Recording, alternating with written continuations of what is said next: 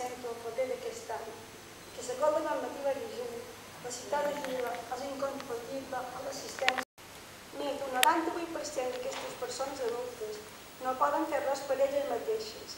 I com que...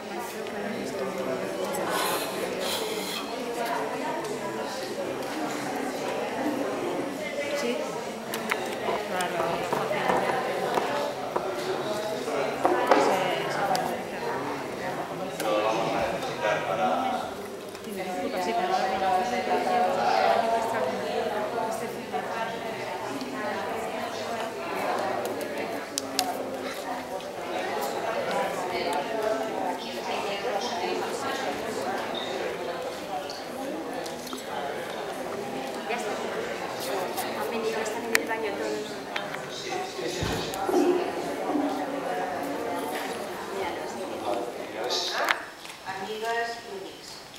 Siau tots benvinguts.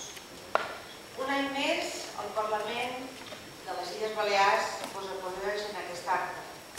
Novament, ens reunim en aquesta sala de plens per tots junts commemorar el Dia Internacional de les Persones amb Discapacitat. En el marc Eh, la federación hace poco tiempo que se creó, eh, pero bueno, su lucha básicamente es la lucha de la supresión de las barreras de comunicación.